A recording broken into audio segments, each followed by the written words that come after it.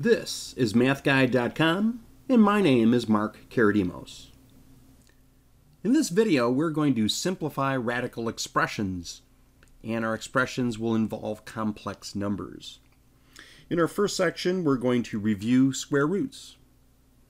In our second section, we're going to go over easy problems, and then in our third section, we'll, we'll go over intermediate problems, and then in our last section, we'll go over difficult level problems. Let's get started.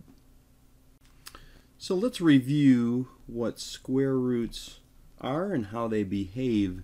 So this is the square root of 16. The square root of 16 is 4. How do I know that's true?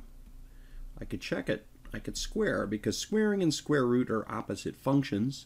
4 squared means 4 times 4, which is 16. So yep, that 4 has to be the right answer. Let's try another one. Let's try the square root of 81. Well, the square root of 81 is 9. Why is that?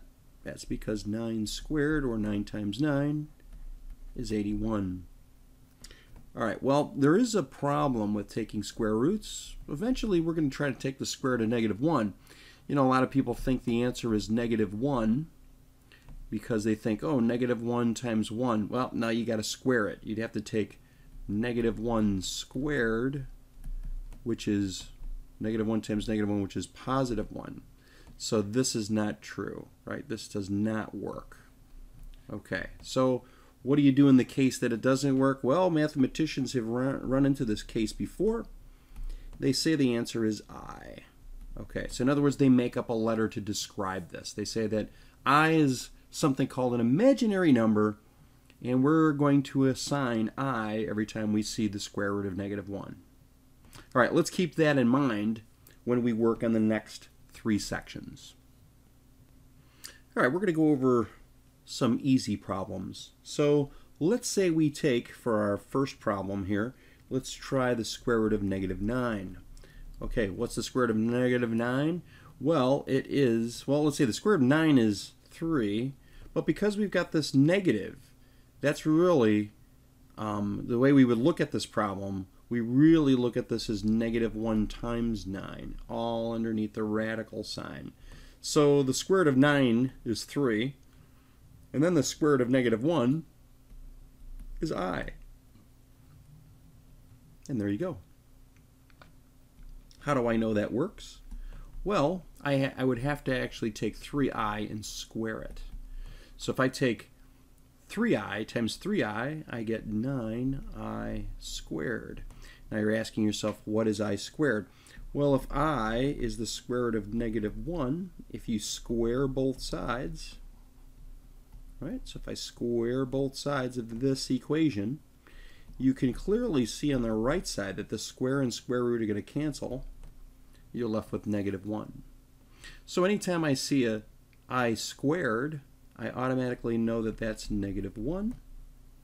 So when I take 9 times negative 1, I get negative 9. And yep, that's what I had underneath the radical to begin with. So therefore, that answer right there has to be the correct answer. All right, let's try that again with another, another problem. Uh, let's try the square root of negative 25. Okay, well, let's get into the details. This is really negative 1 times 25. And what's the square root of negative 1? The square root of negative 1 is i. The square root of 25 is 5. So your answer is really 5i. All right, let's get to intermediate level problems. So we're going to take a look at two intermediate level problems. Here's our first. Let's take negative 12 p squared, and we're going to take the square root of this. All right, well, there is no nice square root to this. I mean, you just can't take the square root of this whole thing. It's not a perfect square like 25 was, like 9 was, like 81 and 16 like we saw earlier. So what are we left to do? What we're, we're going to do is take the negative 12 and make something called a factor tree. And we're going to break it up. Well, first of all, we know that the negative, right? I know this negative is an i. So I'm not even going to deal with the negative. I'm just going to take the 12. I'm going to break that down. So 3 times 4 is 12. When you find a number that can't be broken down, it's called prime, circle it. 4 is 2 times 2, and again, those are prime numbers. So what do I have underneath the radical? I've got 2, 2, 3. And p squared is really p times p. Okay, so how do I take the square root of this? In other words, how do I simplify it? Well, I'm going to take it in pieces. Okay, that's I know that's i. Square root of negative 1 is i. I could deal with that. I know that 2 times 2 is 4, so I could take the square root of that. And I know that p times p is p squared, and I could take the square root of that. The square root of p squared is p. Okay, well, let's write this down. The square root of negative 1, that's i.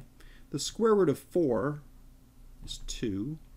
The square root of p squared is p. So what's left underneath the square root? Underneath the square root, we could see that there's still a 3 that we can't do anything with. So what do we do with all this material here on the outside? We have to multiply it all together. So we're going to multiply all this material here on the outside. So on the outside, we're going to get 2 i p or 2 pi. It doesn't matter what order you write those letters. Okay, so let's take a look at another quick example.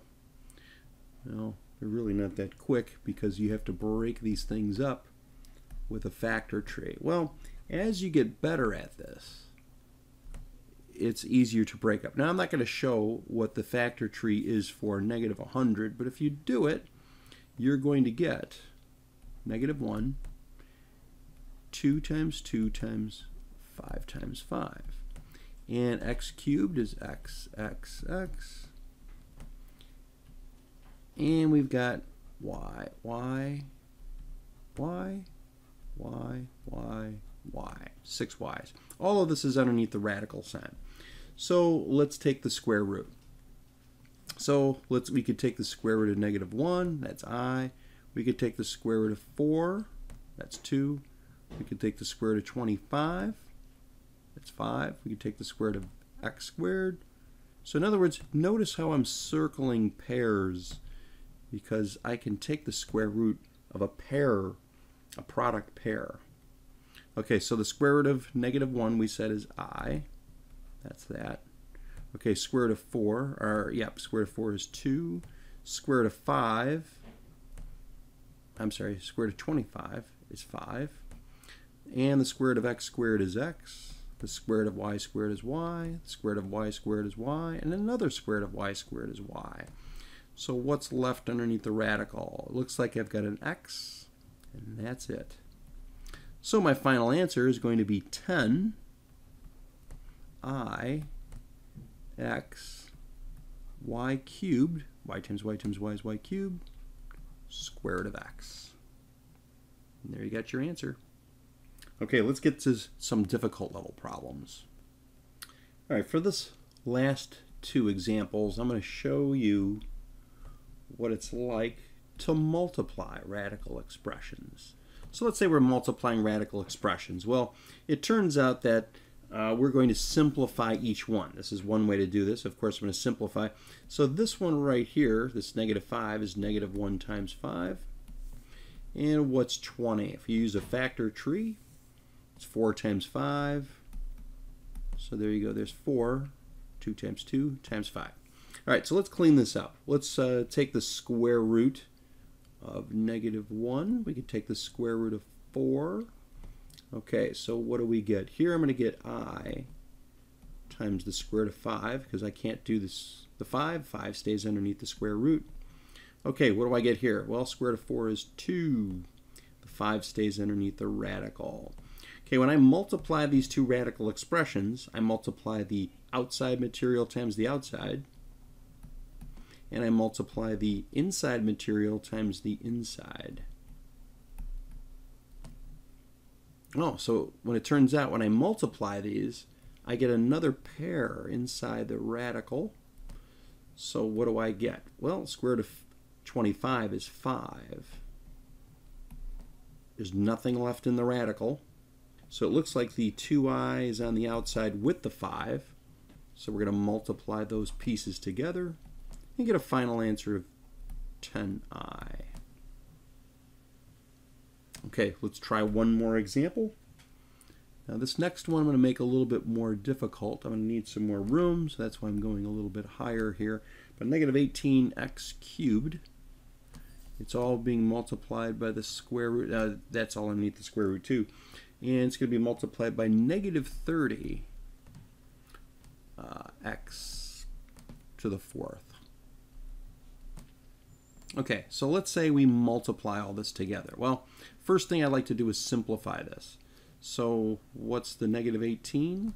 Well, that's going to be 9 times 2. And 9 is 3 times 3. Oops, I forgot the i. In other words, the negative 1 there in front. Okay, so anyway, he says 2 times 9. And we've got x cubed. Okay, and all that is being multiplied by negative 1 times 30. That's 2 times 15. And 15 is 3 times 5. x to the fourth.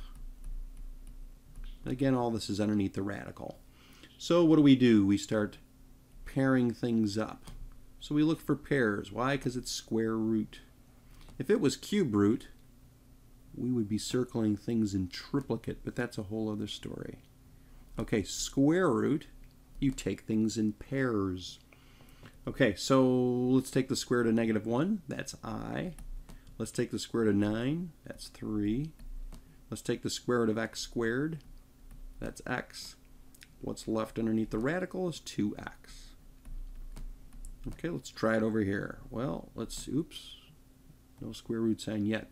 Square root of negative 1 is i. Square root of x squared is x. Square root of another x squared is x. What's left underneath the radical is 2, 3, and 5, which I could do nothing with. All right, now before I multiply um, and actually clean it up, I don't want to clean up yet. Uh, I know that this is 3xi. Okay, really that's what this is. This is 3xi radical 2x times, of course, this is i x squared. Doesn't matter what order I put the letters. Now I'm going to leave this 2 times 3 times 5. Now the reason I'm leaving that is because when I multiply this, I take the outside times the outside, so that's 3xi times this, so that would be 3x cubed, right? x times x squared is x cubed. i times i is i squared. Okay, what's underneath the radical? I've got a x and a 2 and a 2, 3, 5. Okay, so that means I could take some more things out. I could take out a square root there. Okay, so it turns out I could do a little bit more. So that means a 2 goes on the outside. I'm going to need some space here. So, okay, so a 2, square root of 4 is 2. And what's left inside is a x times 3 times 5. All right, if we do a little bit of last minute cleanup, um, oop, that was an i squared. Sorry about that. That was an i squared right there. Okay, so what's left? This is going to be 6 times x cubed times i squared. Let's keep in mind that i squared is really negative 1 i squared is negative 1. Okay, so that's really 6 times negative 1 is negative 6. Forget about my x cubed. Okay, so what's left inside the square root? 15x. And there you go. Got the final answer. All right, so make sure you go back to mathguide.com, check out our lessons, our interactive quizzes, and instructional videos. Take care.